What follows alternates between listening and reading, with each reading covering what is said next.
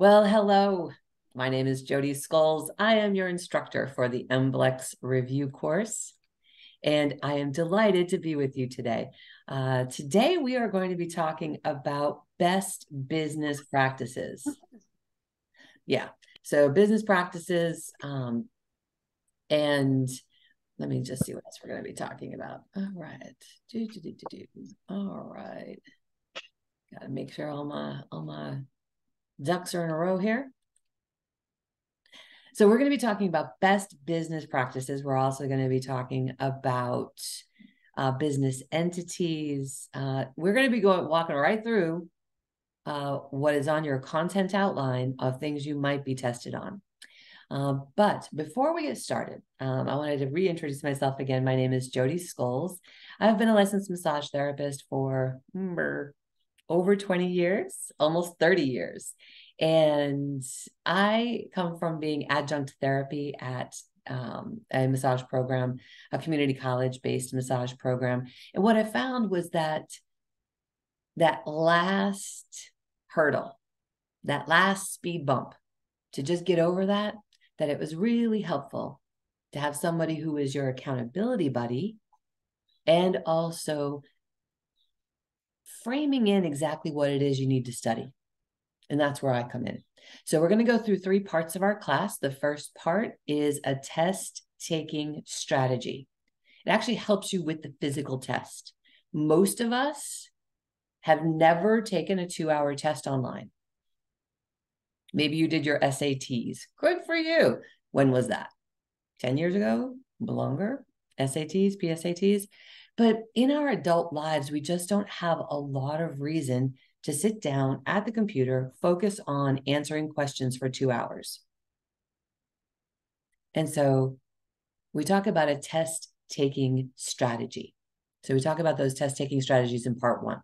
Part two, uh, we are going to do some learning. And today it's business practices. About 15% of your test, so about 15 questions, will be on business practices. And then at the end of class, we take our knowledge and we apply it by dissecting questions.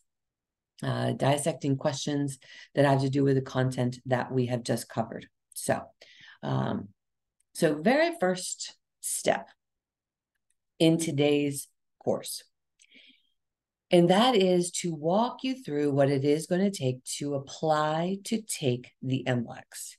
And I've been speaking with a few mm-hmm. graduates lately. Been speaking with a few graduates lately, and their school did not walk them through what it takes to apply for the MBLEX let's just walk through it briefly so you know what to expect. The Federation of State Massage Therapy Boards hosts the content for your MBLEX. They came up with the MBLEX, the Massage and Bodywork Licensing Exam. And so they are the ones you are going to register with. So the Federation of State Massage Therapy Boards. That's the fsmtb.org. So the Federation of State Massage Therapy Boards is who you pay your money to. It's 265 bucks. That kind of stinks. Um, but 265 bucks and you are registered to take the exam. So you'll register with the Federation, paying them the $265. You do that by creating your username and password so you have a profile. You fill out your profile, that uh, determines where you're going to be taking your exam by your zip code. Um, and then once you have paid your fee, in about three to five days, you get your authorization to test, ATT and that comes via email. So be watching your email over the next three to five days when you get your authorization to test. That authorization to test gives you the instructions on picking your date. So you are going to go to a Pearson VUE Testing Center to take this test.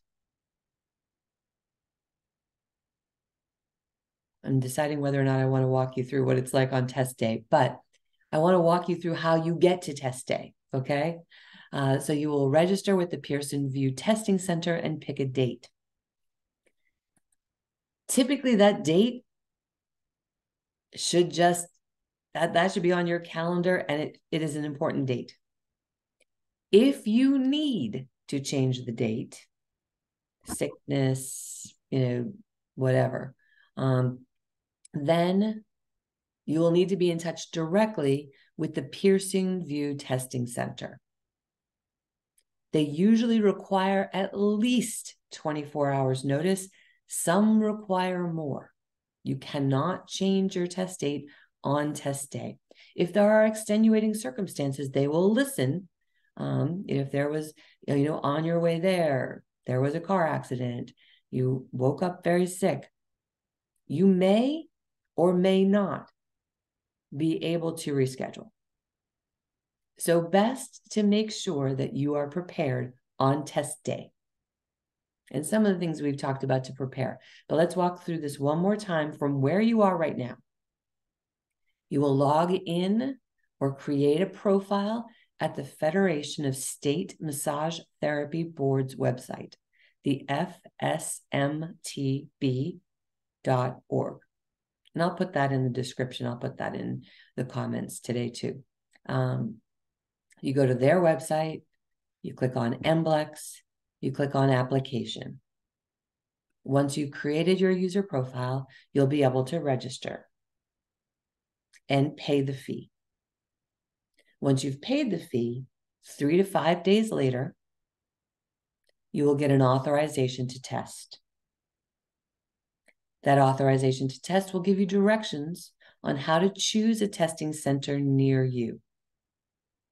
Once you have chosen, once you've received your authorization to test, you have 90 days. That authorization to test is good for 90 days.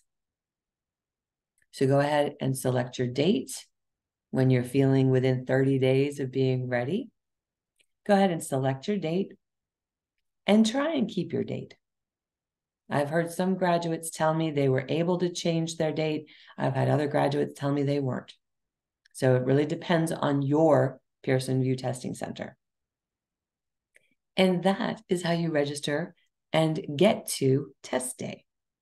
And on another uh, episode of what, in another class, we'll talk about game day prep, what I call game day prep, being ready for your game day, um, what to do, not only in your studying, but in preparation for game day, how you can best be prepared and can control what you can control. So let's move into our actual learning for today. You ready? Yeah. Here we go, ladies and gentlemen.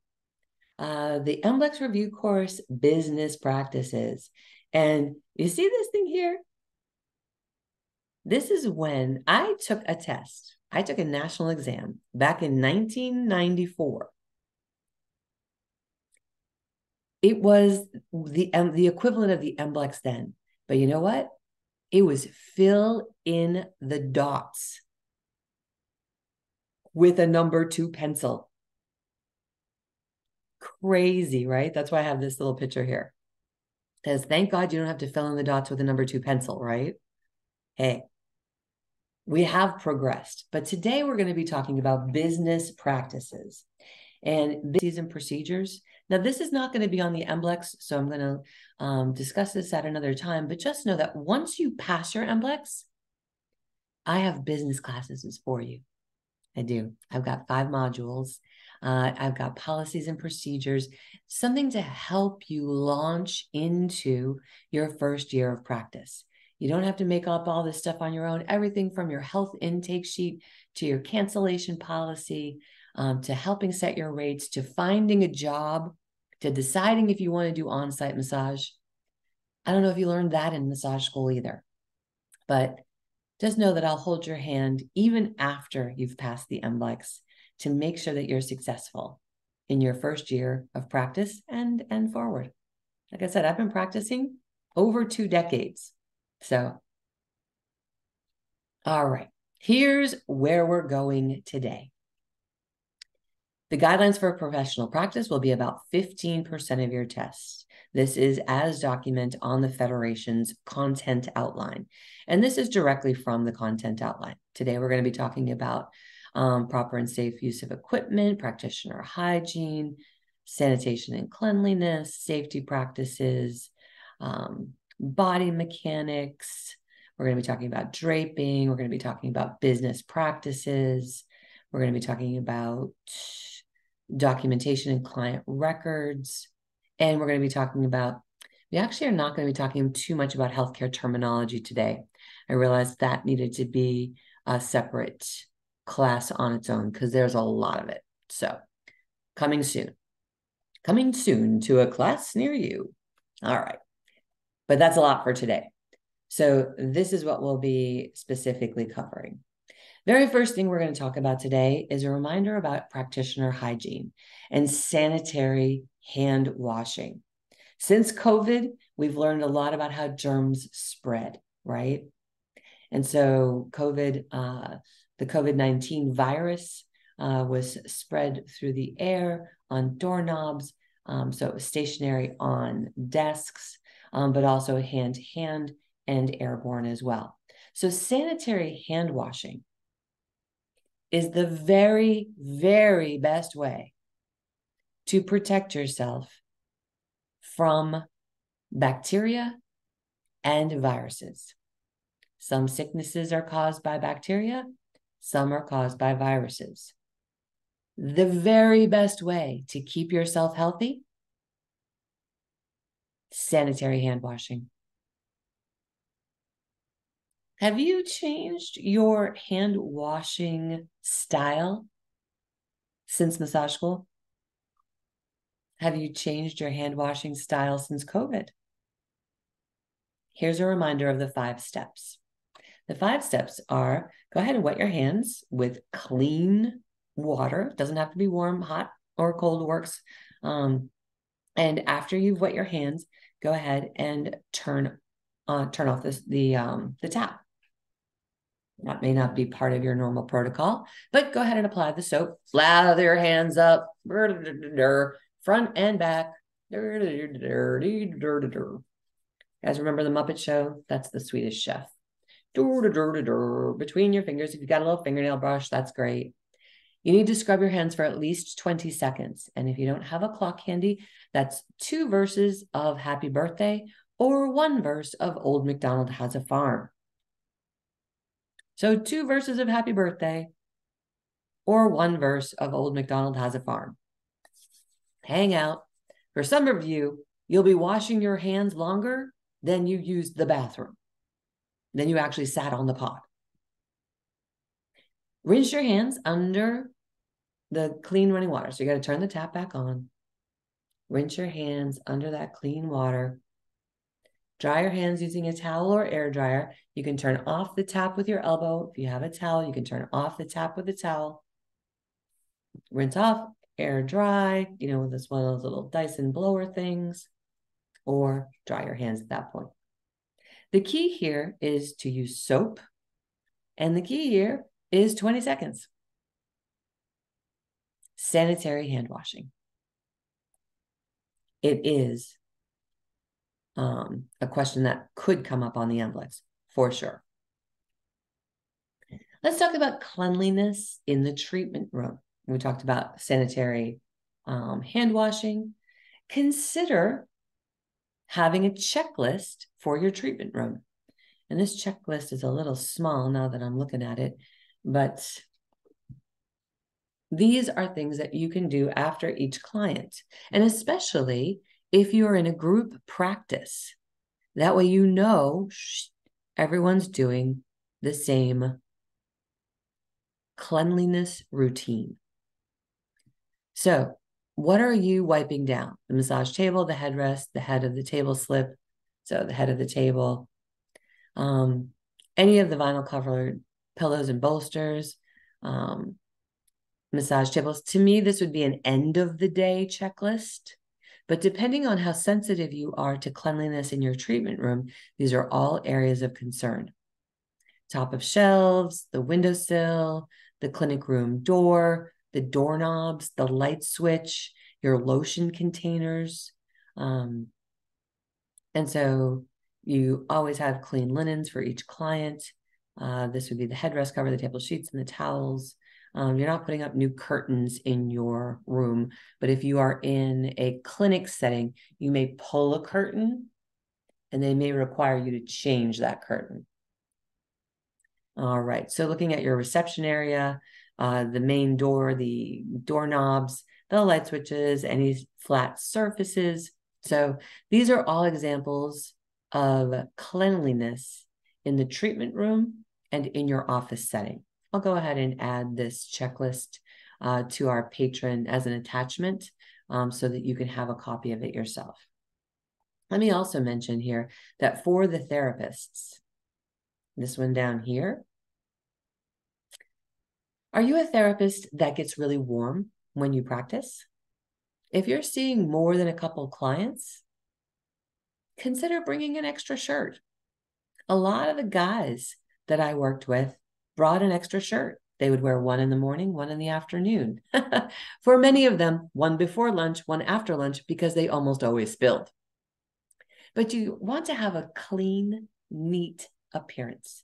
Some people prefer to wear scrubs. This speaks to one of our standards of practice, which is professionalism. How are you demonstrating professionalism? One of the ways you're demonstrating professionalism is having a clean treatment room. Clutter, sorry guys, sorry gals, clutter is not perceived as clean. It's not a part of a clean treatment room. Please have a second set of eyes. Take a look at your treatment room, where you're treating.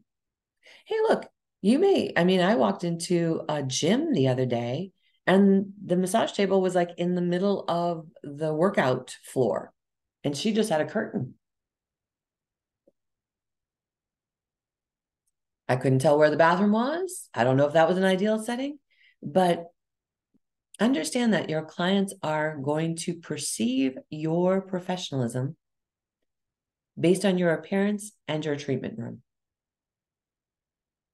And so be intentional about that. So consider having a second shirt just in case you spill. Um, also, you know, if it's summer and it's hot outside, you might sweat. Always using new face cradle covers. Sometimes you'll be using disposable face cradle covers, um, but having fresh face cradle covers for each of your um, clients as well. Let's move along I think we understand now cleanliness in the treatment room.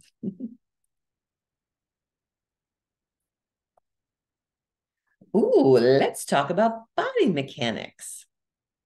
So, body mechanics in your treatment room. Uh, changing uh, gears a little, how do you show up in your treatment room? Did you have instructors that corrected your body mechanics. There are important parts to this. Let's take a look here.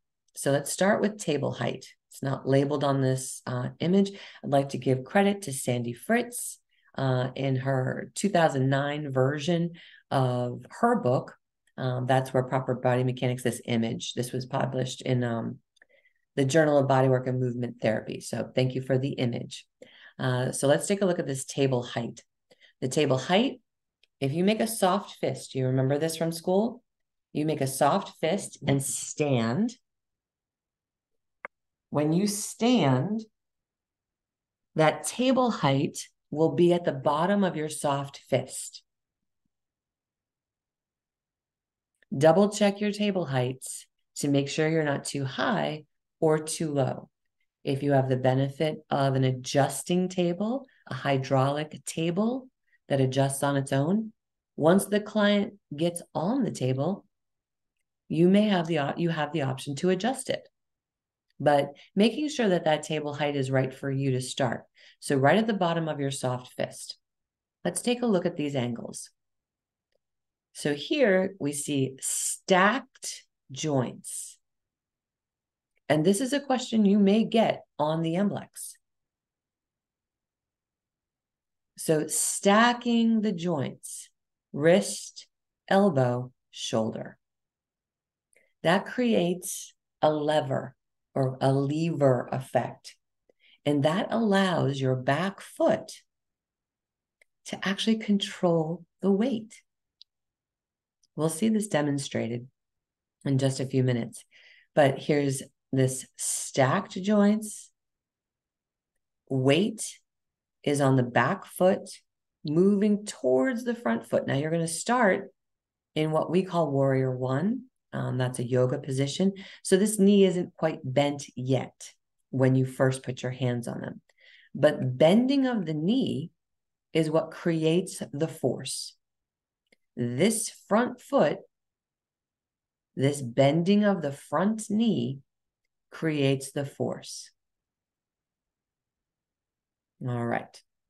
Again, we see these stacked joints, shoulder, hip, knee, ankle. There we go. And in general, there's little to no weight on this front foot until the very end of a long stroke. So practice this the next time you're doing massage.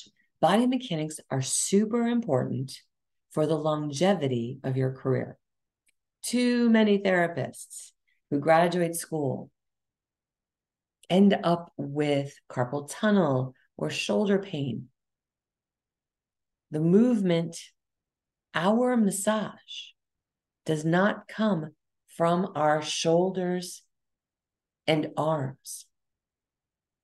It actually comes from our body weight. And I have a video for you to demonstrate this in just a moment. Here's another image. This is an actual photograph, and this is in side lying position. So we lengthen the spine. Go ahead and lengthen your spine right now. Imagine there's a string on the top of your head pulling you up just ever so slightly. Are you sitting up straighter? Yes, lengthen your spine. So we're doing that while we're actually doing massage treatments as well. We see again the stacked joints. In this case, this arm, we're not applying direct pressure with this arm, but the movement is still coming from the back foot and very little weight. One of the, the games that you can play in your treatment room is can you lift your front foot? Can you just like, it, it should be there just for balance, unless you're at the end of a long effleurage stroke. So we're balancing our shoulder, elbow, and wrist. Typically, that'll be straight especially as we go to apply weight. And you see, this is a person laying in side lying position. And that's often the case with pregnancy massage. So making sure that you are not compromising your body mechanics, even if you're working in side lying position, say with pregnancy massage, those body mechanic rules still apply. If you twist yourself into a pretzel, that is just going to take up too much energy from you as the practitioner. And let me mention, as I do sometimes, that in giving massage, don't give 110%. Pump the brakes around 80%. If you're used to giving 110%, turning yourself inside out, going a little longer. Oh, really like turning and twisting to try and get those little spots. Stop that now. Stop it. Hashtag stop it. You will simply be burning yourself out. Your 80% is more than enough. I promise you. Your 80% is more than enough for that client. So reserve some of that energy for later in the day, another client, whatever it happens to be. But that's having good boundaries. Let's go ahead and switch gears for just a moment. I am going to change. This is a friend of mine uh, Rebecca Faraway. She is the owner of Zion Massage School in Utah. We're going to pause this share for just a moment while I change screens.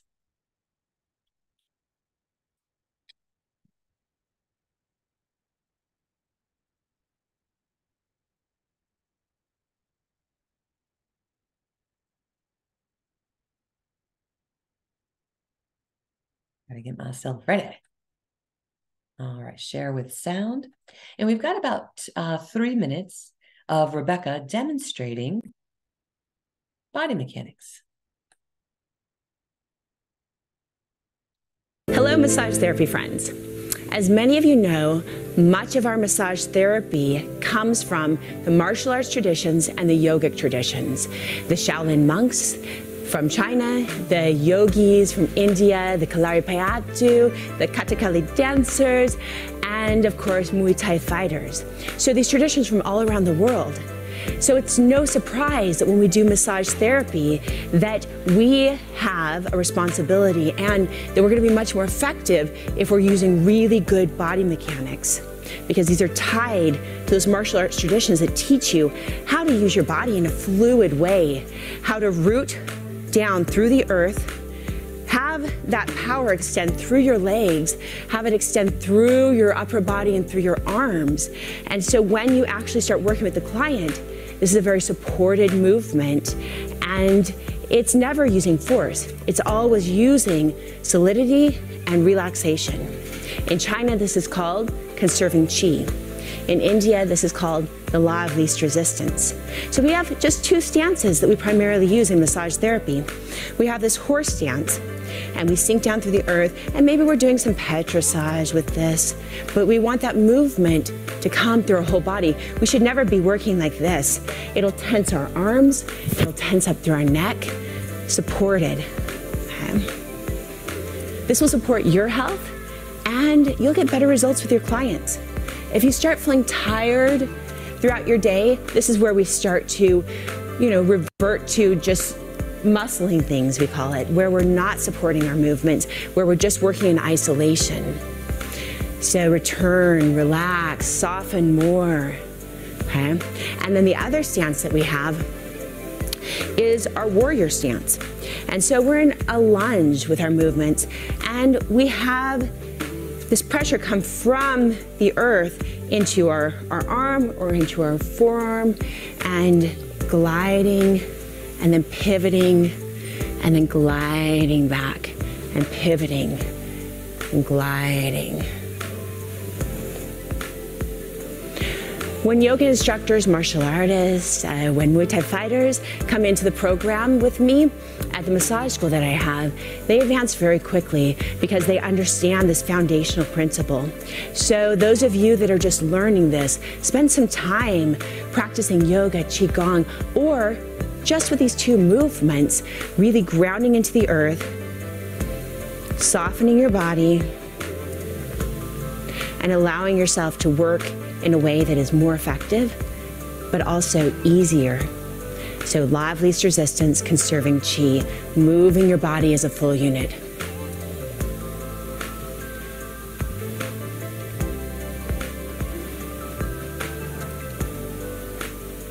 Okay, see you soon.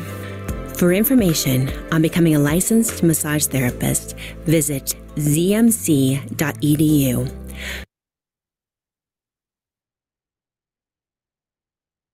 Does that sound familiar? The horse stance and the warrior stance, warrior one. Maybe if you've done yoga or you've done Tai Chi, that sounds familiar. You may be hearing it for the first time, but I'll post that video and others uh, in the Patreon site so that you can revisit those body mechanics. So, so, so important uh, for um, how to move, how to shift your body. Yes, Angie says, "Gosh, I wasn't taught a lot of body mechanics." I know sometimes, sometimes that gets lost in the in the shuffle, uh, and that's why we revisit it um, for your MBLEX, so you know the principles of body mechanics, um, but also you can see it in action. You can imagine it for yourself. That weight from the back foot moving forward. Yeah. And that forearm. So, practicing either Tai Chi, yoga, this will help you understand the way the weight distribution moves.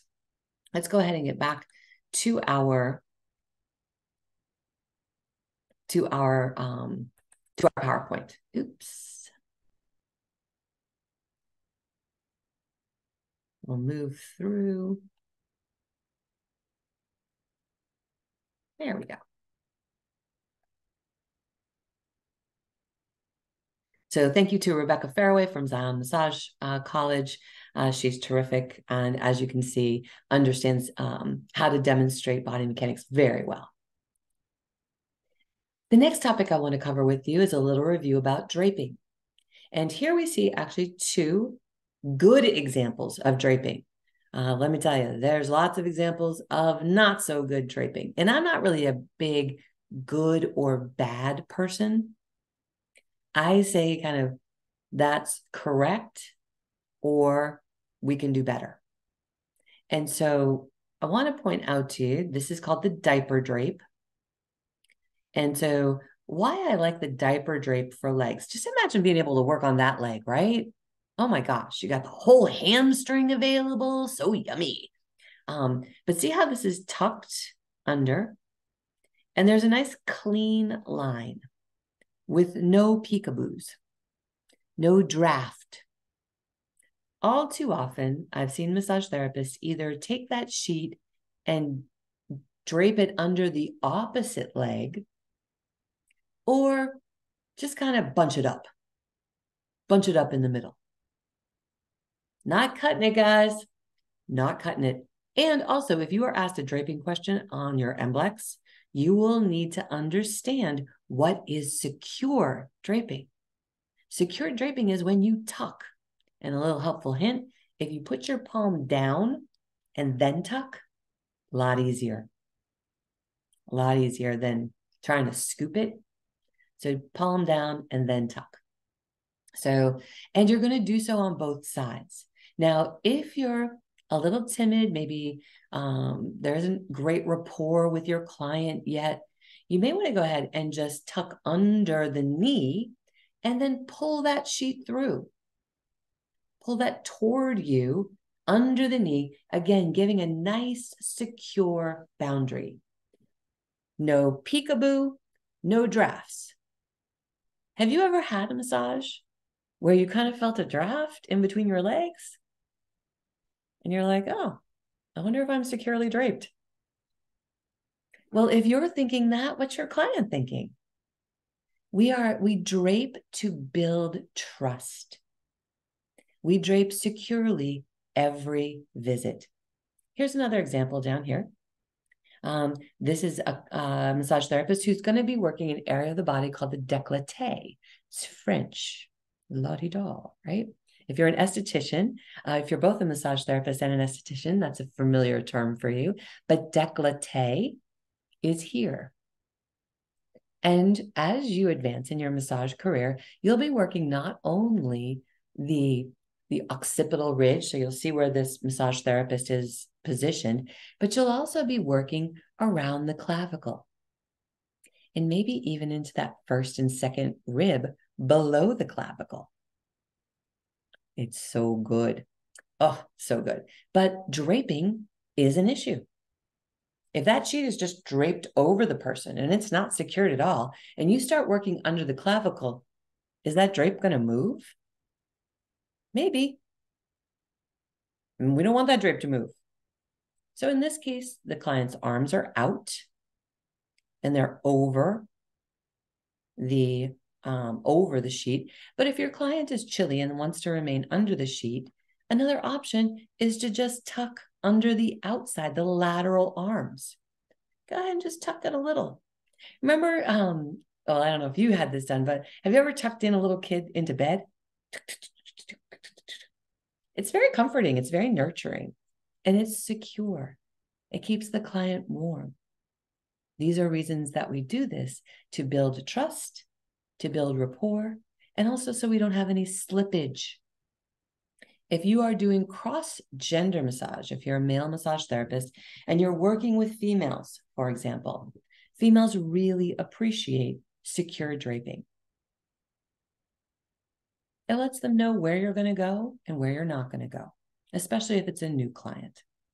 But draping is important all the time, even if it's your hundredth visit with a client. Look, I still securely drape my mother. Honestly, it's that important. It allows the autonomic nervous system, it allows our central nervous system to relax. Enough about draping.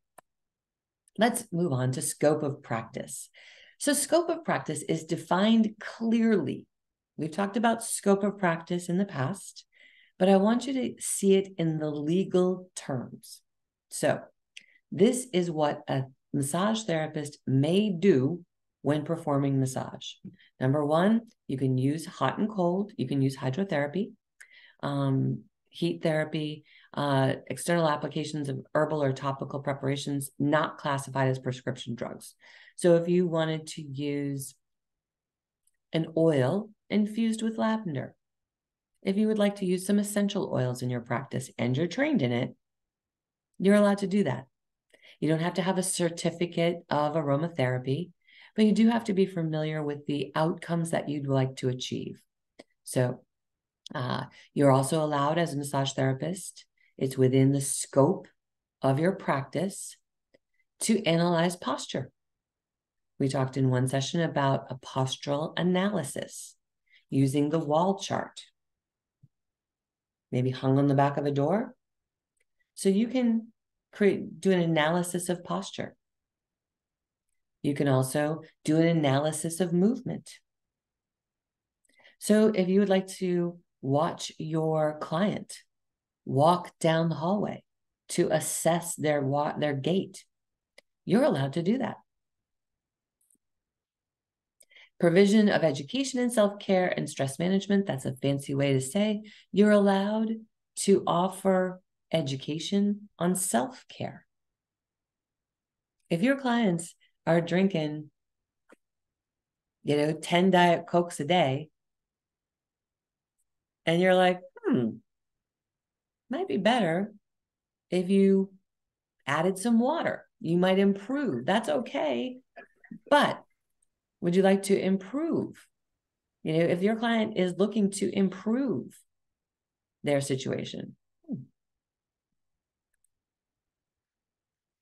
then you can offer insights into what you know to be true. So, and also in dealing with stress management, if you wanted to talk about breathing, we're not going to be doing breathing exercises with them per se, unless you're trained in transformational breath.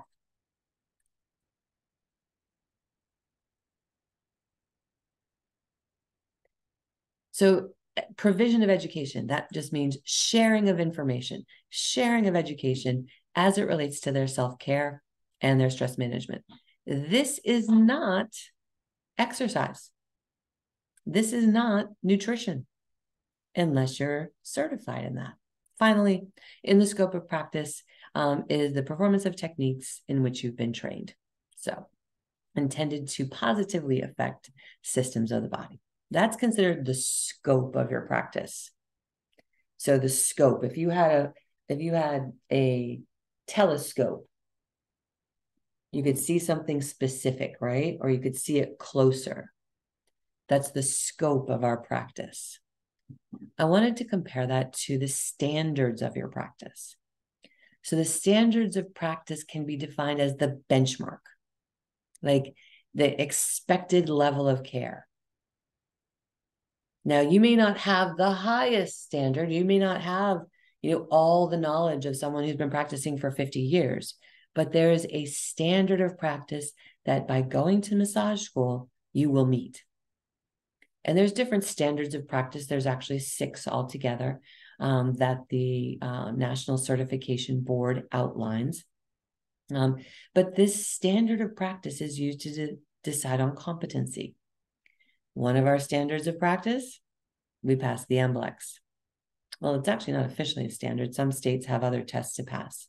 Um, but this is basically the benchmark that you need in your town county, state, province, that standard, that level, that benchmark to demonstrate that you are competent and that you have a certain level of excellence. Who is the NCB, by the way? I always just say NCB versus the whole thing. The NCB is the National Certification Board of Therapeutic Massage and Bodywork. They're a national association for massage therapists. You may have already heard of the AMTA. You may have heard of the ABMP, but there's also the NCB TMB, the National Certification Board. They are focused on recognizing massage therapists who have done more than the minimum. So, a year into your practice, two years into your practice, if you would like to demonstrate that you have continued your education and you have done more than the minimum, you'll be considering being a member of the NCB, of the National Certification Board. This is offered, they offer, and you may have heard of this already. Have you heard of board certified surgeons? Board certified doctors? Let me look on that. Board certified. Yes.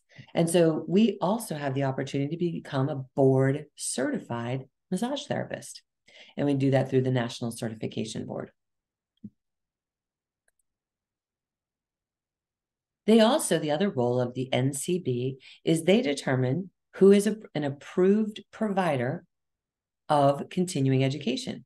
As a massage therapist, you'll need to take 24 hours of continuing education in two years. Some states differ just a little bit. For example, in Florida, uh, the massage therapist licensed in Florida need to take a minimum of four hours every two years of human trafficking. But that's specific to Florida. Most massage therapists will need to take at least four hours in ethics. Again, the NCB is the ones who officially determine if you are certified to provide continuing education. It's another one of their roles. All right, let's move into some business practices, some vocabulary, let's look at copyright infringement and intellectual property. These are business terms that you'll want to just be generally familiar with in case they pop up on your MBLEX. Copyright infringement, using someone else's words, ideas, pictures, images as if they were your own, and you don't have permission. Every now and then you'll hear me say, Thank you to Sandy Fritz, or thank you to this person uh, for allowing me to use their images. I'm not representing them as my images, they are someone else's. I am avoiding copyright infringement. Sometimes you'll need written permission. These are mostly for images on websites, flyers, brochures, um, words that you're using um, in your website, flyers or brochures. You want to just credit to where the uh, words came from or actually get permission. And also, we are not allowed to just cut and paste from other people's websites. Hello. Yeah, somebody else wrote that. That could be a copyright infringement. Intellectual property is it's a legal concept and it can be applied to a multitude of different things. It can be books, it can be an invention, it can be photographs, intellectual property. If you have taken a picture, you've created, um, you created something, you have this intellectual property that's yours, and you it's yours exclusively. So we can't just use other people's stuff. And this specifically applies to us usually with images. Um, but it can be words, um, it can be other things, but just intellectual property. If that's somebody else's, we need permission. But that's the concept. Intellectual property is actually a legal term. We can't use other people's intellectual property. Moving along, I believe this is one of our last concepts before we move into dissecting questions, but I wanted to walk you through the difference between employees and independent contractors, as well as just a few different corporate entities that, whether you knew it or not, you're going to be one of those corporate entities. But let's start with an employee compared to an independent contractor. Many of you have been employees in the past. You've gotten hired for a job. You show up, they give you your hours, they maybe give you a uniform, they maybe give you some training, and you're hired as an employee to perform certain tasks. As an employee, you have taxes taken out of your check when you get your paycheck. If you worked for $20 an hour and you worked 10 hours, do you get a paycheck for $200? Taxes are taken out of the check. And then at the end of the calendar year, usually sometime in January, an employee gets a W 2. Have you gotten a W 2 before? It says how much you made, right? On this little piece of paper, it says what you made, it, how much tax are taken out, and what you can file for to get back. Uh, so, um, one of the benefits of being an employee down here in the final paragraph um, is that uh, employ your employer is required to withhold your social security and your medicare but they're also required to match. So you only end up paying half of the amount of your taxes. Your employer your employer has a responsibility to match those. So, for example, as employers will pay 6.2% um, for Social Security, and the employees pay that amount as well. So it ends up working out a little bit as an if you're an employee.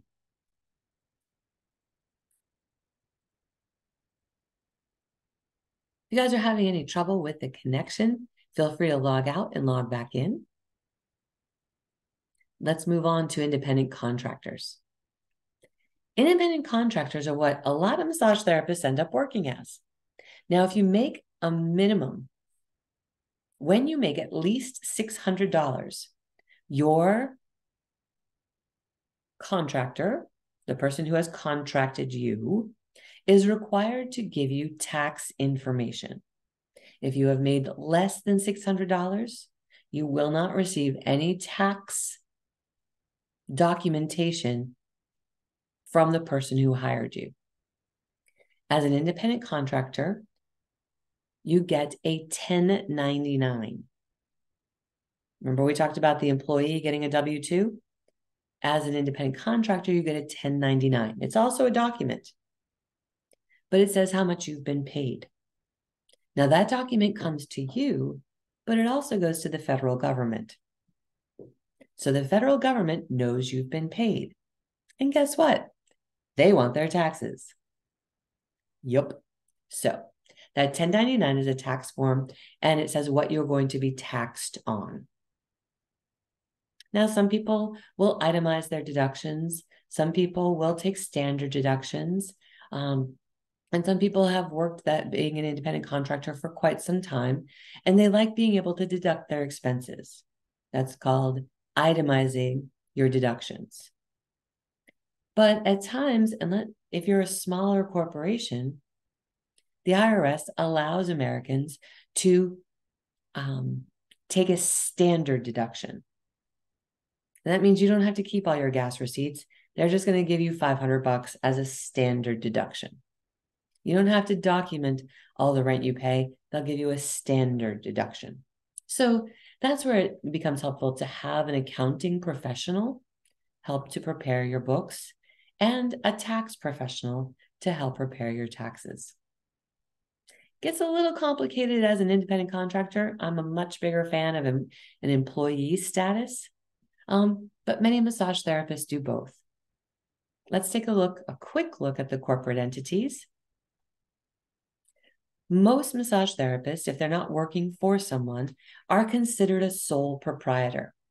There's no forms to fill out, just you as the owner of the business, you are one.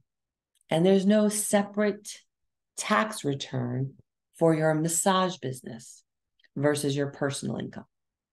So you still gather all your documents for the person preparing your taxes.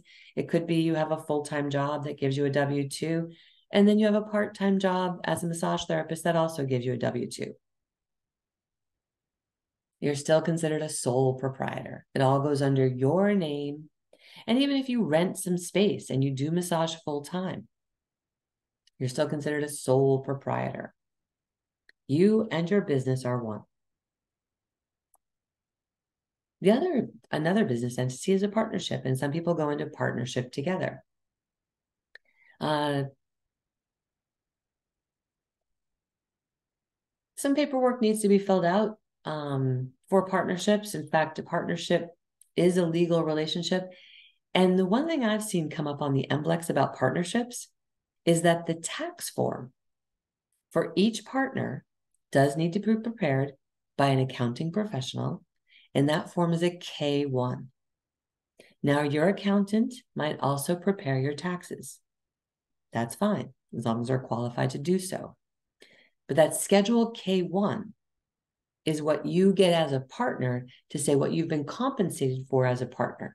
So, say you get compensated for your massage, but at the end of the quarter, you and your partner say, Hey, we've done really well. We're going to take a bonus. Those bonuses paid to partners are reported on the K1.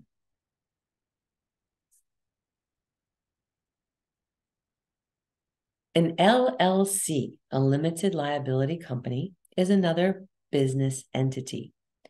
Uh, it does take you do form it. It's very simple to form. It's a legal entity. It's designed to actually protect the sole proprietor, um, the personal assets of the sole proprietor. It's taxed pretty much the same.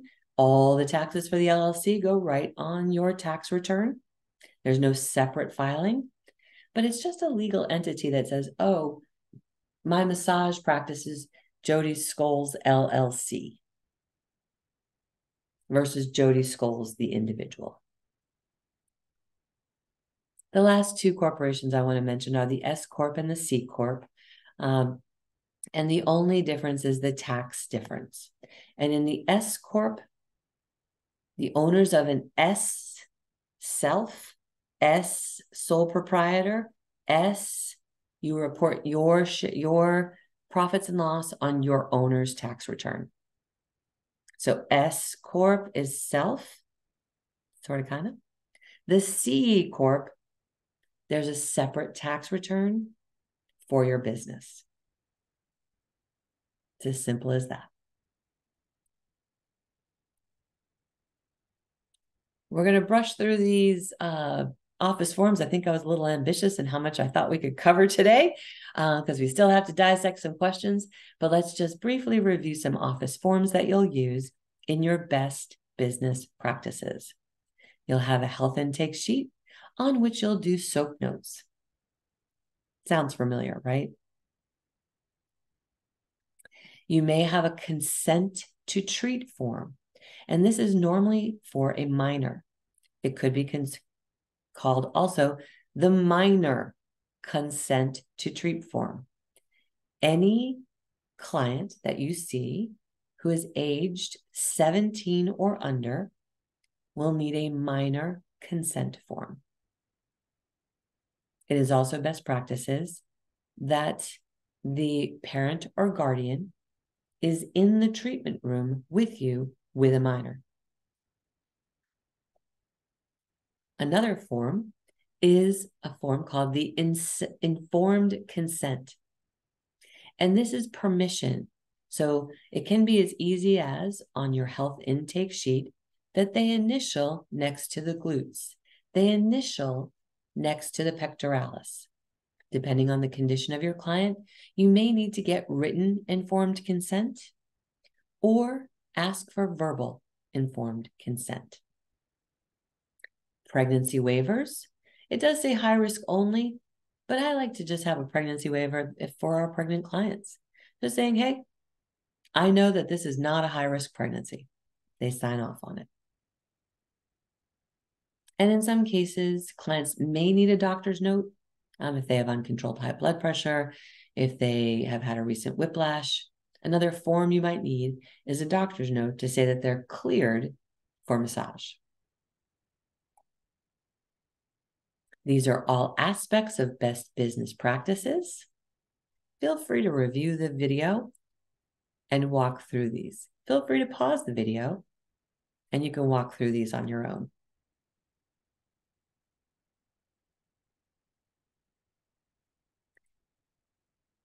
How long will a licensed massage therapist wash their hands when using sanitary hand washing techniques? A, one minute, one minute or more. B, 30 seconds. D, at least 20 seconds. D, one version of happy birthday. How long? So, ah, oh, look at everyone jumping in the chat. Great. I love it. Love it. Love it. Love it. Now remember, you need to read through all of the answers before we pick our answer. Now, let's also eliminate one wrong answer. If you remember, it's not one verse of happy birthday, it's two. Two verses of happy birthday. If you want to just hum it while you're washing your hands, that gives you about 20 seconds. But the oh, but the correct answer is letter C, at least 20 seconds. Very good. Good job. Let me just check this one other answer. Yes. Good job. We got Lauren. Yes. Paula. Yes. Deborah. Deborah. Yes. Tanya. Angie. Juliana. Um, Marina. Marina. Marina. Mar- Marina. Yes. All right. Good job. All right. Next question. Marna.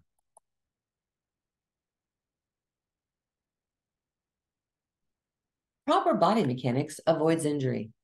What phrase describes proper, proper body mechanic techniques? Make sure your table is at the proper height, at about your belly button. Bend your knees, put all your weight on the front foot. C. Use your fingers to avoid injury. D. Drop your shoulders and avoid hyperextension of the wrist. All right. Proper body mechanics. Let's take a look. These are long answers, right? You've got to visualize what they're talking about. So let's take a look at letter A. And this is something you can do during your MBLEX. If it's just like, psh, just start with letter A. Let's see if it's right. Make sure your table is at the proper height, at about your belly button. Yes or no? Oop, I see some answers coming in. Ooh, we're, we're all over the place.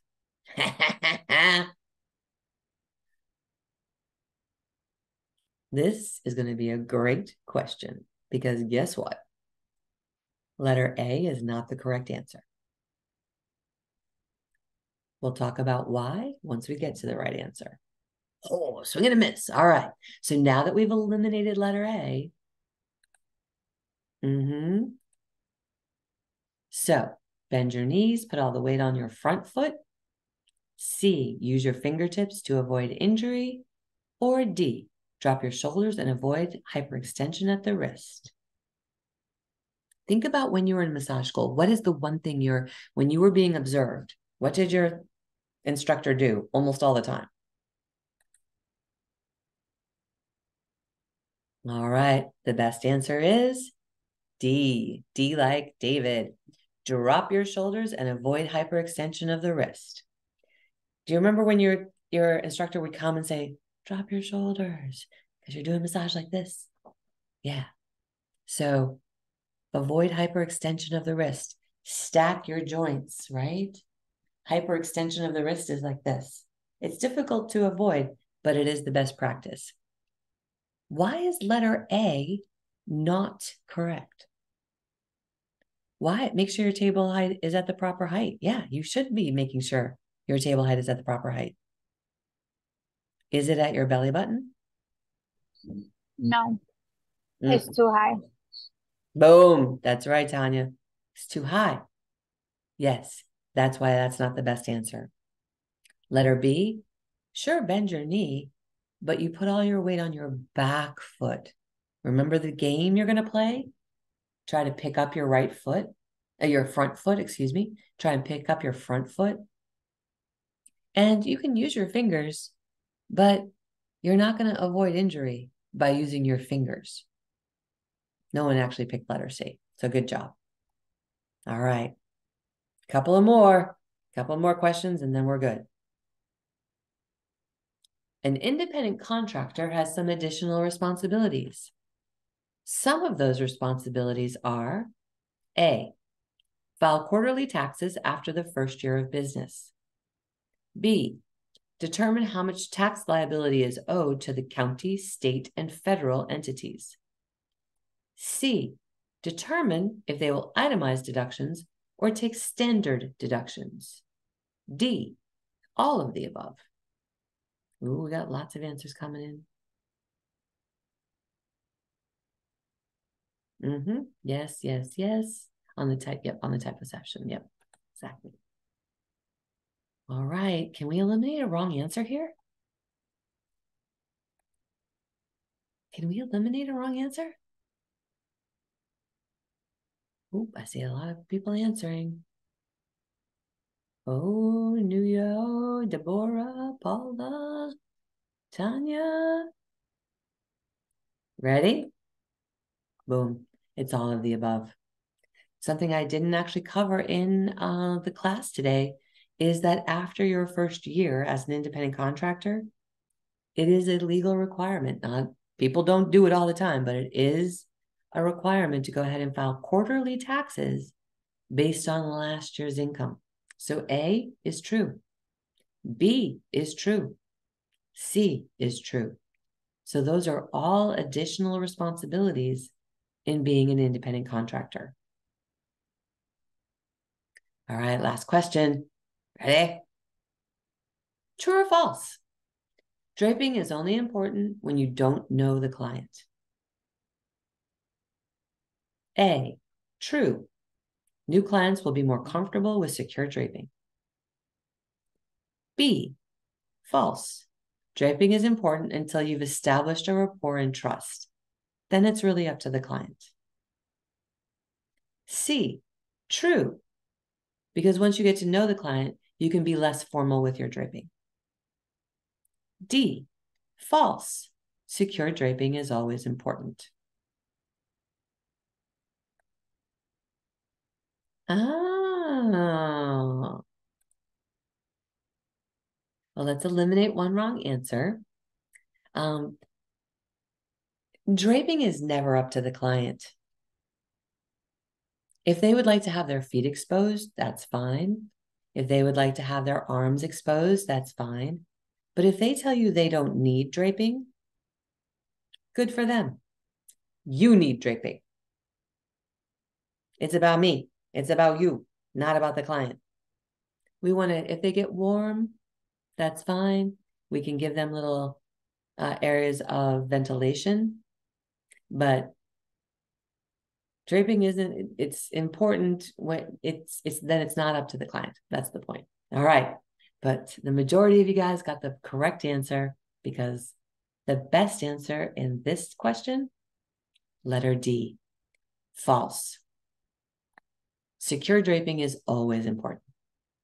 So this was a true or false with a lot of little squigglies in there, right? Let's see. Okay, good. Nice job. I want to just give a shout out to, yes, Nuyo, Deborah, Paula, eh, la la la, uh, Tanya, Angie, Juliana, Nuyo. Boom, boom, boom. You guys all got this one. Good. Secure draping is always important. And there we are. Good job. Good job today. Can you imagine if we tried to go over medical terminology too? Woo! We'd be here till two o'clock, or we'd be here for another 45 minutes. Yeah. So I want to say thank you. Thank you so much for the work you put in today. Thank you for your vision of you being a licensed massage therapist. When we come together in class like this, our collective energy is greater than the sum of its parts just by you being here today. Just by you being here today, you have elevated the collective consciousness. You've given me energy. You've given all of your other classmates energy and vision. Because when we come together, we say, You're a massage therapist. You're a massage therapist. You're a massage therapist. I hold that vision for you, and we hold it for each other. So thank you for doing that today. I'm going to stay on for a few more minutes with the students in case they have, not students, the graduates. Our graduates may have questions about how they're preparing for the MBLEx. So I'm going to stay on a few more minutes, but I wanted to close our recording uh, by simply saying uh, my name again is Jodi Scholes. I'm your instructor for the MBLEx review course, and it's my pleasure and my privilege to work with you, to be with you on this part of your journey as you prepare to become a licensed massage therapist. See you again real soon.